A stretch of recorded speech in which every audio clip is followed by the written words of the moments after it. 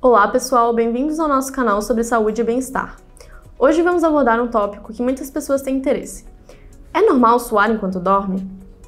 No final do vídeo vou te dar algumas dicas para o tratamento da condição, mas você precisa acompanhar até o final para o melhor resultado. Muitas pessoas têm dúvidas, mas evitam falar sobre o assunto.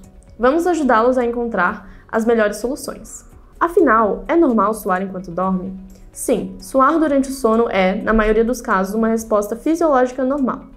Nosso corpo tem uma maneira peculiar de regular a temperatura, mesmo quando estamos em repouso. A temperatura do ambiente que você dorme desempenha um papel crucial. Quartos muito quentes podem fazer com que o corpo sue para dissipar o calor. A escolha dos cobertores e roupa de cama também pode influenciar. Às vezes, o excesso de coberta pode aumentar a temperatura corporal, desencadeando o suor.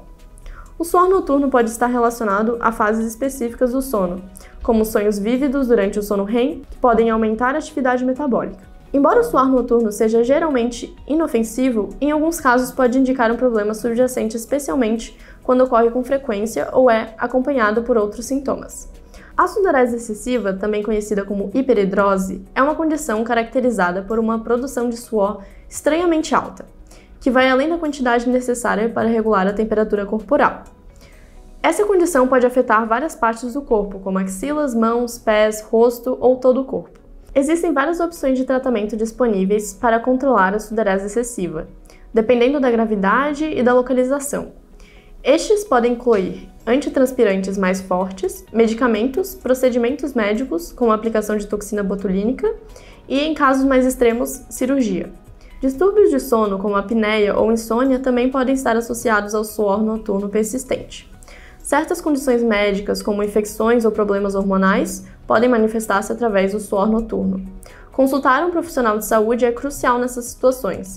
Em resumo, suar durante o sono é normal, mas é importante estar atento a padrões incomuns ou sintomas associados. Se o suor noturno é uma preocupação constante, consulte um profissional de saúde para uma avaliação mais detalhada. Espero que essas informações tenham sido úteis. Obrigada por assistir até aqui. Deixe seu like e um comentário. Não se esqueça de se inscrever no nosso canal para mais conteúdo sobre saúde e bem-estar. Até a próxima. Você já ouviu falar do Odaban? O antitranspirante que combate a bromidrose. Odaban, acabe com o odor e o suor excessivo. Você pode adquirir no primeiro link da descrição.